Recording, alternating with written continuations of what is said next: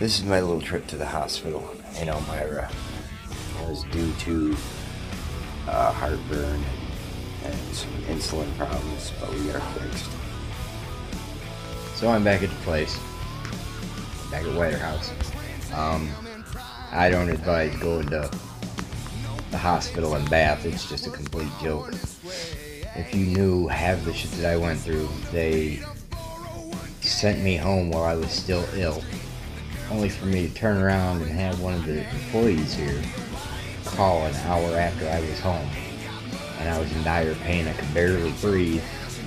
Um, I knew my sugar was high. They didn't treat that at all. They treated the stomach issue, which here's my advisory for that. If you take stomach pills, continue to take them. Because when you stop taking them, it makes food unbearable to eat. So there's my public service announcement for the day. I don't know, maybe I can get some some payment for that. I don't know.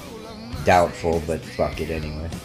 Um, other than that, yeah, I'm back. I'm getting acclimated again, and you know, uh, it was uh, a couple days I was gone, but uh, still doing good here. I think I'm at like day 14 or 15 or something like that. I'll have to check, and we'll get back to you.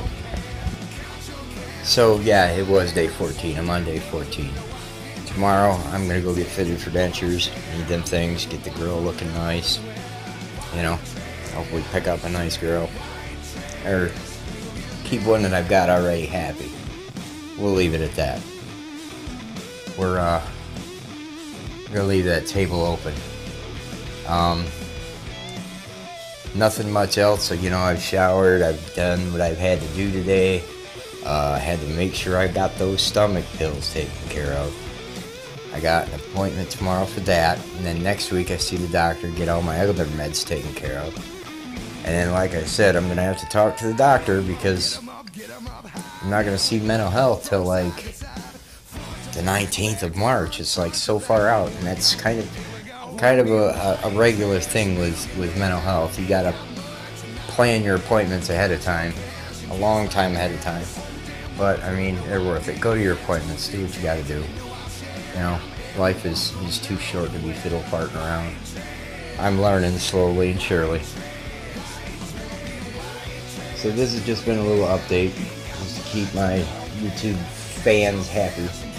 Yeah, that's what's been happening. I did a little hospital trip for a couple days. I'm feeling much better now. Uh, I'll work on more creative stuff for these videos, and uh, we'll get motivated on this. I think this is going to be a decent channel once I spread my wings a little bit and start using my imagination. It'll be great.